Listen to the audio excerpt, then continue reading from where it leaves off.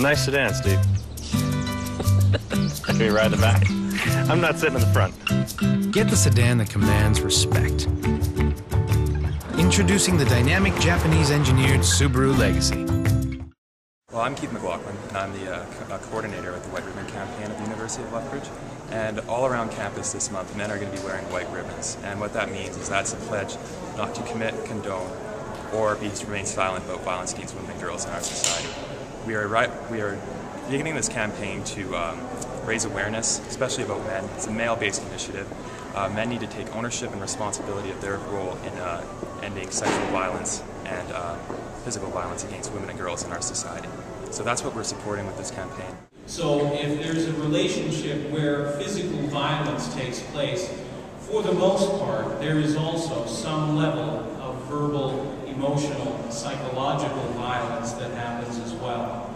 So whether that's threats, intimidation, insults, belittling, yelling and screaming, uh, isolating in the, in the social sense, but also within the home as well. Um, and I also want to include in that category criminal harassment, or what most of us would understand uh, as the formerly used term of stalking. There is also sexual abuse, everything from, and we've heard discussion of that and recognition of that already this morning, uh, from rape to sexual assault to unwanted touching, unwanted exposure to sexualized material or pornographic material, forced part- participation in sexualized, uh, in a sexualized context, whether that's uh, clothing or toys or games or all of those things, whenever that becomes forced and non-consensual, then we're talking about abuse.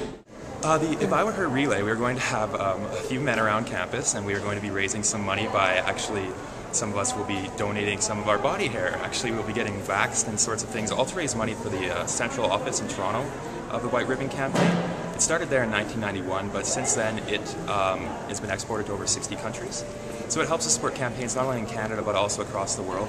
And the White Ribbon Campaign is privately funded. They don't apply for grants from the government because they don't want to take away any money going to women's shelters or women's groups or anything like that. So it's important to raise money for these campaigns so we can get them going elsewhere, you know, in Pakistan, in Iran, in, in, um, as well as support them in Canada.